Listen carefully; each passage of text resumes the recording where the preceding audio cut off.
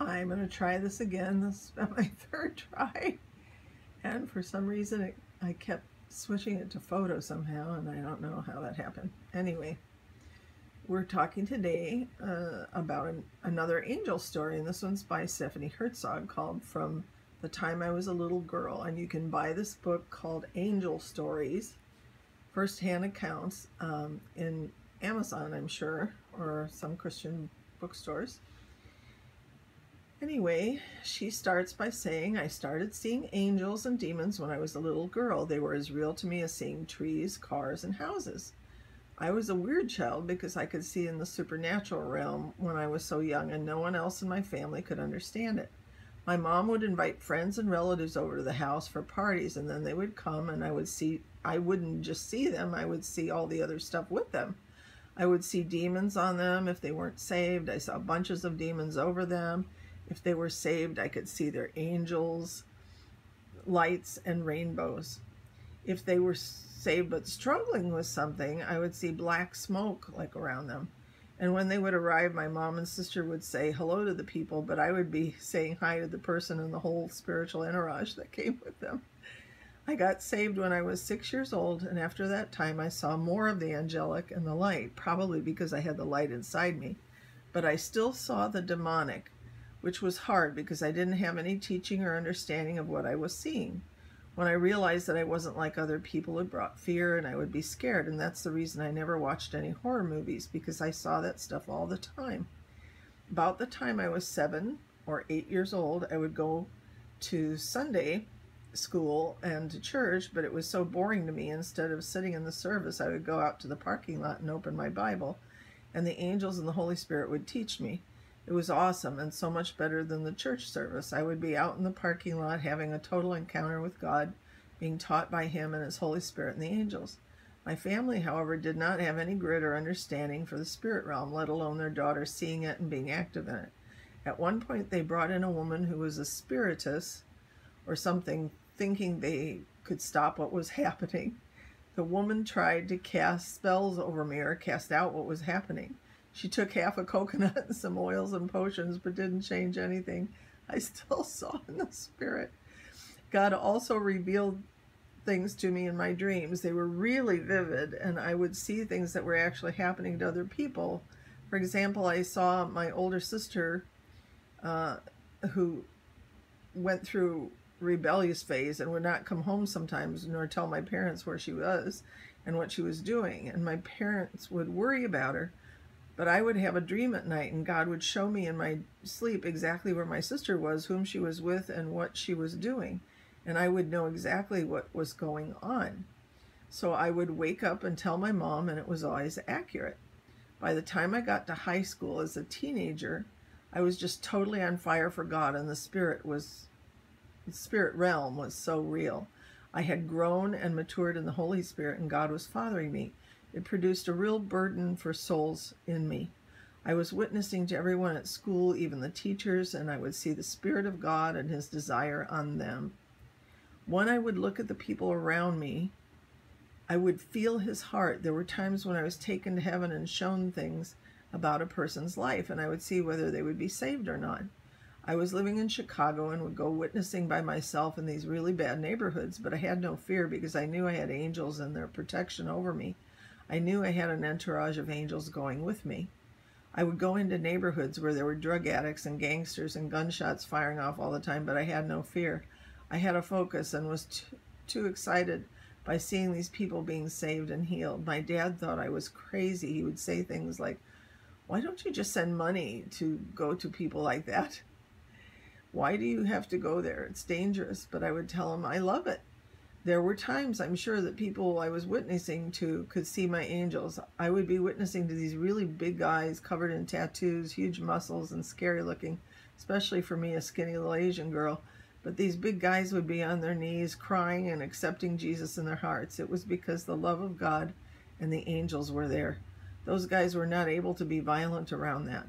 That alone was the intervention of the angelic and then um, I'll share this other one that she had too called Superhero Angels. She says, Our angels are strong and mighty. That is why I don't like pictures of angels as cherubs, as baby like children with chubby cheeks and little wings, because our angels are strong and mighty. I remember once praying for my husband David and my oldest daughter when they were preparing to go to Nigeria. It was a dangerous time for them to go because there had been kidnappings and other violence, but as we were praying together at home, I instantly saw in the spirit. I told David, No worries, honey, you have a whole bunch of angels, and they are all so different they're going to go with you, and it's going to be awesome.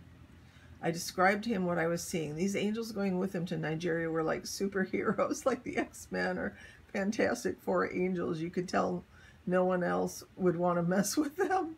One of the angels was so chiseled it made him look like he was made out of a different kind of matter, like chiseled stone. He was like the thing, one of the Fantastic Four, but not that color. He was so strong. The devil would throw darts at him and they would just bounce off. He looked so fierce and mighty and scary. There was another angel who looked like a human torch. The flames of fire, whoa, whoosh, were from heaven, and he was made of these flames. Good heavens. Anyway, other angels looked like they had weapons built right into their bodies. They were so not like the quiet white robed angels we see pictures uh, of with blonde hair and nice wings. They can look so different and they are purposed to do God's bidding for us and to work with us. Hallelujah. And that's that one. Okay. And then I thought of just sharing with you um, just a little bit about how when I first came to the Lord, um, after I was saved, I was seeing things in the spirit also, but I was seeing second heaven. I was seeing um, demons. And so I know when I read stories like this that, that this is real. So it's not just um, sharing because, you know, it sounds like a good story. It's it's the reality of those things. I think it was C.S. Lewis that said that, you know, that world is more real than the one we can see. And I would see things like, um, oh, I was driving by 7-Eleven, and outside the front of 7-Eleven, I saw a black wolf. Well, they aren't very common in Southern California, so, and I knew it was in the spirit realm that I was seeing it. So it was a spirit, and I remember so many times um, seeing different different shapes and forms of things, and then uh, especially uh, later, after my mom died, I had demonic visitations because I was staying in her apartment where she had lived. And she had been active in um, New Age and witchcraft. So I had to go there and live with her after my divorce for a while. And after a year, she died. And uh, God had given her a lot of, you know, chances to to turn her attitude around. But at any rate, after she died, I had some really severe uh, demonic visitations where I'd be just fall, just at that point, you know, where you're starting to fall asleep and you're really tired, and then suddenly I felt something grab me from behind and try to squeeze me like it was trying to squeeze the life out of me. And I would say Jesus, and by the third Jesus, it was gone. And there was a time when I also saw, I, I felt like it was the strong man over my mom um, that had kind of stayed around to see who else it might get a hold of or something. And um, I woke up in the night and there was this huge bat-like spirit, which I knew to be witchcraft because I'd seen that one before. Um, and it was as big as the whole ceiling and that was a big room that she that the master bedroom that where she slept in. And um, all around it were myriads of other ones that were smaller. So i knew it was witchcraft and stuff and i was um, terrified frankly you know by what i saw but again by the third jesus it was all gone the third time saying jesus so you know, Jesus will come to your defense no matter what, no matter where you're at and, and, and what you're doing. If he has sent you uh, someplace, he's going to take care of you, just like she said. And um, just this weekend, I had an encounter or with a with a young Arabic woman. It was uh, really a beautiful thing. Uh, I was at the coffee shop and she walked by, uh, and I didn't know anything about her. I'd never seen her before. She was a small framed young gal, and um, she looked like in her late 20s or something. But at any rate, when she walked by, she smiled, which is she was looking directly at me, and that was that was what was surprising. Usually, people here kind of divert their look if if they don't want to talk to you or they aren't interested in you or anything. They're you know they're just going about their business. They're not looking directly at you, and so I sat here for a minute thinking, Lord, did she see something? And the Lord said, she's a seer.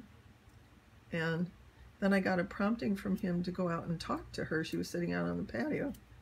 And um, so I went out there. Well, it turns out she's a 33 year old Muslim gal who, when she walked by me, she felt something nice. She said, some, um, she felt something really good. And, and, um, so she share we started sharing about spirits and all kinds of different things and even generational stuff and at some point she said to me that she had had I asked her about dreams and visions and she said that yes she does have dreams and visions. And she shared with me this dream she had recently where she was in a big huge grassy field and there were a lot of sheep. And there was a man there who spoke to her and she said he said his name was jesus at that point inside my heart my heart's like boom boom boom boom you know like wow lord. And um but she said she didn't know much about jesus. And um i forgot you know some of the rest of what was said. Um, but I asked her because she felt like she, you know, needed to go because of an appointment or something, and and I said, well, could we pray before we you go? And the thing is, some people will hesitate. She was like quite the opposite. She was like, put her purse down and grab my, put her hands out and was eager to get prayer with me. So I prayed with her, and when I did, it was like boom, it was like walls up all around us. It was like the Holy Holy Spirit was all over us and angels all around us. And I asked her after I got done praying for her that um, God would reveal himself more to her and release prophecy so that she could walk and talk with him every day. And um, she that's just how I was led to pray at that at that time. And um, afterwards, I asked her if she felt anything. She was like, "Oh yeah," and she says, "I hope this isn't the last time I'll see you." And I said, "Well, we can fix that. We just have to exchange phone numbers, so you can text me or whatever." And uh, so we did that, and I'm hoping to very soon see her again because I can tell that you know, God is God is obviously revealing himself and wooing her to himself. Um, but she was also into some Sufism, which is the mystical side of Islam and stuff. But God has people all over the world, just like Stephanie is, uh, you know, Filipino American. Um, there's people I know in India and Russia and all, all over who who have had such wonderful encounters with the Lord. So don't be um, afraid of foreigners. Don't be afraid of reaching out to those people around you, no matter what. And I have to go because it's getting to be the cutoff time for YouTube via iPhone. So, love you guys. Bless you.